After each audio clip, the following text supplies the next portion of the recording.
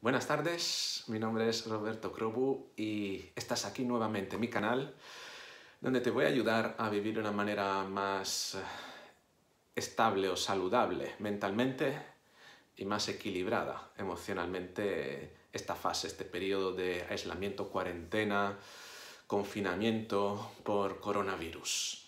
Mira, hoy te quiero contar un poquito cómo se están haciendo las entregas de paquetería y, cómo debes de proceder si la paquetería no sabe de dónde proviene ¿eh? y quién la ha manejado.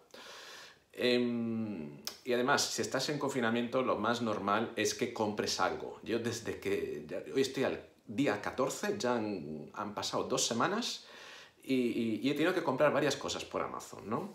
Eh, sobre todo temas tecnológicos para poder eh, servirte precisamente este, estos vídeos. Y, lo último ha sido un micrófono con el que después me escucharás mucho mejor, bastante mejor, cuando iniciaremos la, digamos, las grabaciones con micrófono. Em, lo que te quiero comentar un poquito cuál es el procedimiento. Los paquetes están llegando, lo, traen personas y la persona que lo trae no tiene ni guante ni mascarilla.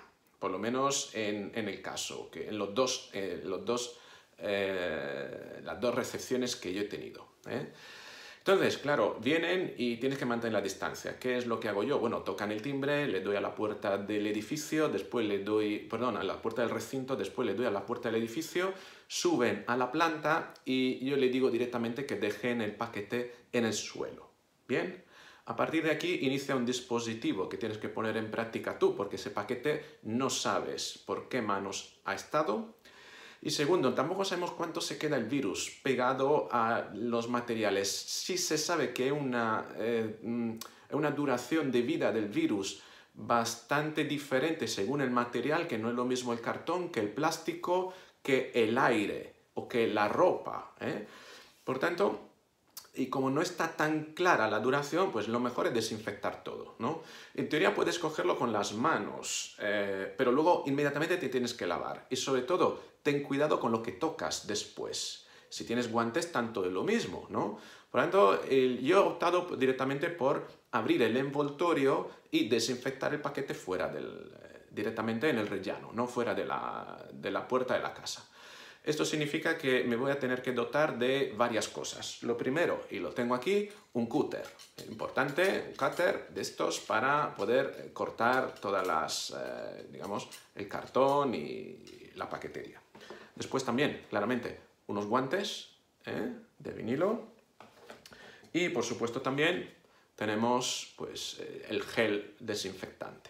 Bien, entonces, ¿cuál es el modo de proceder? El modo de proceder básicamente es eh, ponerse los guantes primero, eh, llegar ahí con el cúter, pues abrir el paquete, el sacar el, producto del paquete, el paquete lo puedes dejar ahí de momento, luego lo tirarás en otro momento cuando tengas otro guante, no pasa nada, o si no, lo coges y lo tiras directamente a la basura.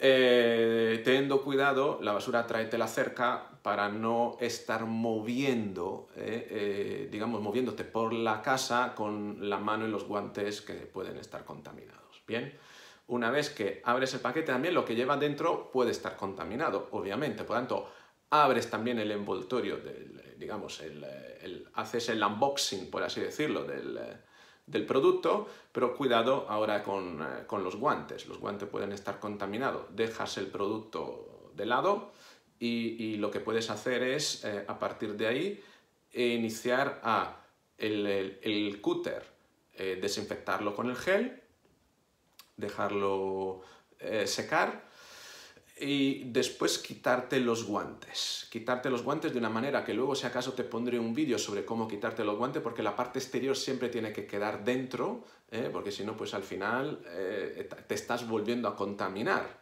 Y sobre todo eh, tienes que hacerlo mm, antes de tocar manillas, puertas, etc. ¿no? Y después, una vez que tienes quitado los guantes y lo tiras también a la basura, pues lo que harás será desinfectarte las manos con el desinfectante.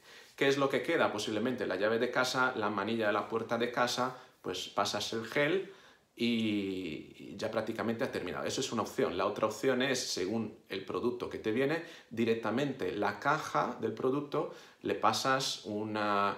la remojas con gel o con eh, agua y lejía. La dosis eh, de agua y lejía eh, si no me equivoco, son como dos tapones cada, cada litro. En todo caso, mm, te pasaré un vídeo también sobre, sobre estos temas si te interesa. Em, o si acaso, pues me lo pones en, el, en los comentarios y te contestaré. Bueno, eso es un poquito el procedimiento. Por tanto, vuelves a casa directamente con eh, la basura cerrada, con el producto en mano, pero ya desinfectado, y eh, claramente con los guantes a la basura y todo lo que has estado utilizando a la basura. Una vez que cierra la puerta de casa, de alguna manera ya está todo desinfectado. Otra cosa es si, si lo haces en casa, pues el procedimiento puede ser un poquito más complejo, ¿no? Em, creo que no se me olvida nada.